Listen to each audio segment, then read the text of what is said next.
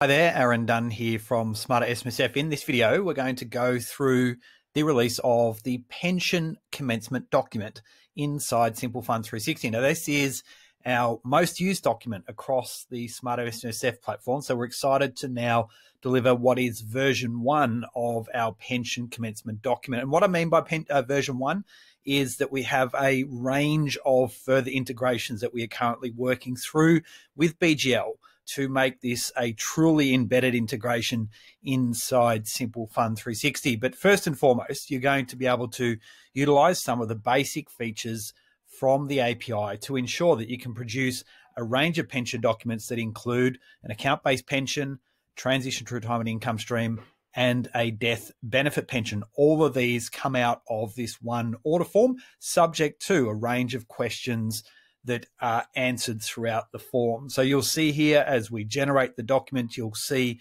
the member request, trustee resolutions, notification, and the product disclosure statement.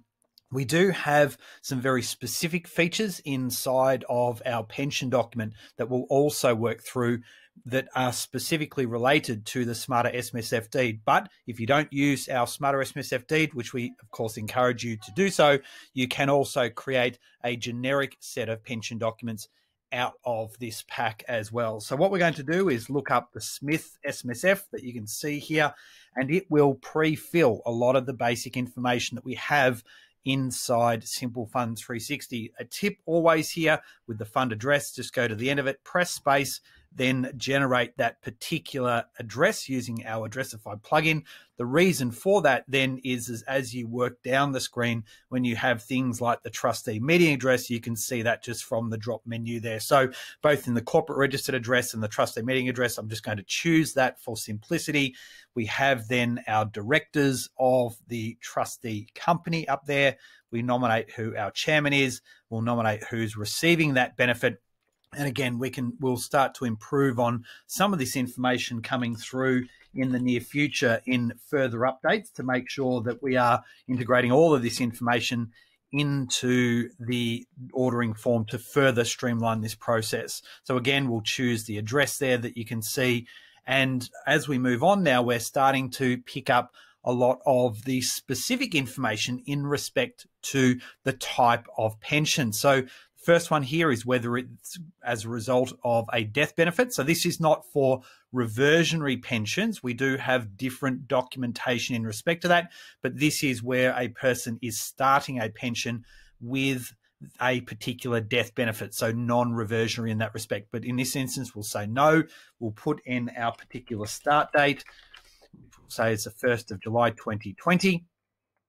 And you can see here, it's then automatically created and calculated the date. So what this means is that we're going to only here pay an account based pension because the member has already met the condition of release of attaining age 65. So if that date was much less, uh, then we would have a drop menu that would come here to allow you to choose between a transition to retirement income stream or an account based pension and then allow the user to choose the type of condition of release that may also align to that.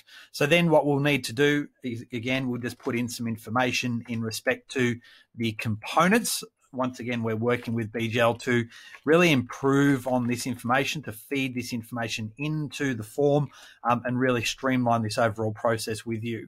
Interestingly, you won't be able to include information into the preserved and restricted items because the member has already reached age 70. So that condition of release is unrestricted that money. So just some smarts in there to make sure that you are producing the right type of pension documents. The other thing here, you can then choose whether the benefit is starting with the entire balance so you can see there would be 200,000, or if it's no, then you can put in a lower figure. So if we just, for the sake of this example, put in 150,000, and what you will see is the proportions still remain the same in accordance with the superannuation laws, but we now have a different minimum and maximum based upon that purchase price. And once again, the tooltip here outlines for you the fact that we've applied a reduced minimum for this financial year. So that reduced minimum due to the economic impact of the coronavirus applies for both the 2019-20 and 2020-2021 financial years.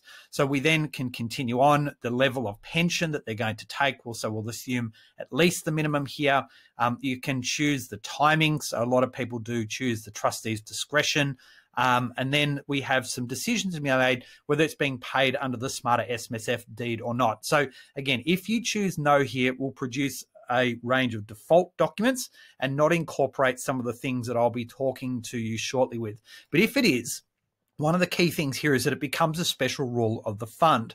Now, what that means is that the these documents, in essence, annex themselves to the trust deed. So they become rules to the deed ordinarily. And this is set out within Rule 3 of the SMSF trust deed that allows for things such as the pension documents to become a special rule of the fund. And the reason why this is important is because it will allow for items in the future, those that do become special rules, to be altered if you choose to do so. And a really good example of that is the fact that you could change what is a reversionary pension to maybe non reversionary or vice versa without actually having to stop and recommence that income stream. We then look at the requirements for the pension, the powers to be able to pay that. Again, the tooltip here will tell you what that is in the Smarter SMSF deed. Otherwise, you'll go and have to find that out in the deed that you actually use. And then we go and fill out the remaining pieces of information here around both the reversionary beneficiary. So if we have a reversionary, we can include that information in here. Again, where we will be working with BGL as we start to um, evolve this further to be able to pull in reversionary details into this form. So at this point, I'll just select no.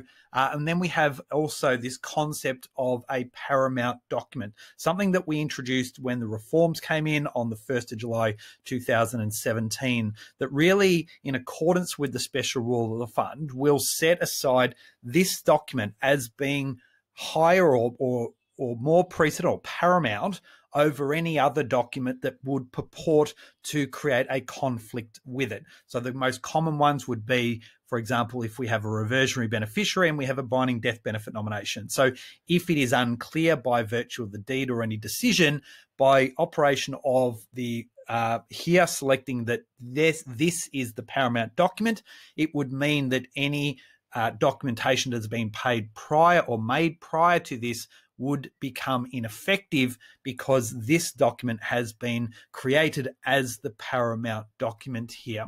So what I'm going to do is I'll select yes in this instance, and then we click on next which will ask us some decisions around whether we are setting aside any specific assets to support the income stream. So if we're pulling between, say, uh, husband and wife here, we can just click no, and then it will allow us to finally simply review all the details of the order. Importantly, you will receive an email with the confirmation of all this, and then once you, are satisfied with this information, you can simply submit this order. So if you have a subscription, um, you will see it as you see on the screen here at the moment. Um, you can simply click the order now if you're buying this on a pay-as-you-go basis what you would do here is you would simply see a credit card. You'd need to put in the payment details and then submit the order at that point in time. So I'll just click order now. It's only going to take a couple of minutes for this order to now generate.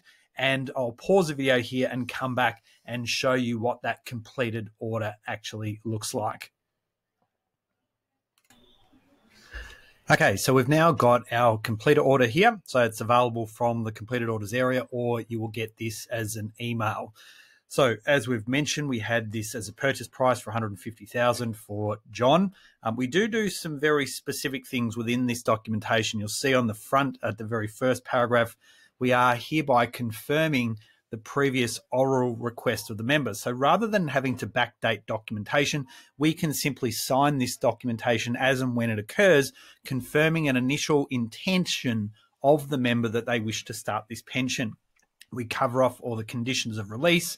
Uh, we cover off the obligations around transfer balance account reporting, the requirements around reversionaries, asset segregation, the paramount document, and all those things that we spoke about earlier. We then have our trustee resolution that confirms a lot of this information, the powers to pay the pension, uh, and we have our member components in total, how that then translates into the pension proportions, and then also formulate the purchase price. And as we stated before, we have our minimums that apply, and of course, the 50% reduction that operates here in this specific circumstance.